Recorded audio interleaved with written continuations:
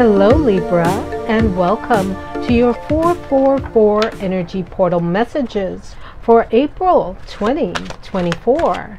And your tarot message for the month is Change Your Life, Archangel Chamuel. A sudden revelation that offers freedom. Break free of procrastination.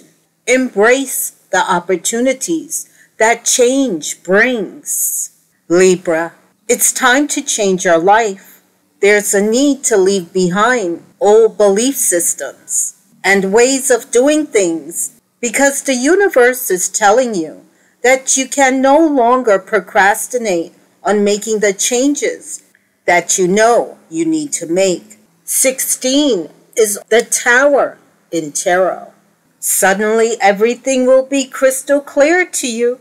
Change is inevitable if you're to grow and evolve. So embrace this new direction in your life as liberating and exciting. You're not going through this transformation alone. Archangel Chamuel can help you find the new path and meaning in your life that you're looking for because you're going through an awakening, a sudden revelation that offers you freedom and it was an unexpected transformation of life experiences. And your angel answer for the month is Not the right time. Libra, for some reason you feel now is not the right time due to fear and uncertainty, fear of the unknown. You're being resistant to change.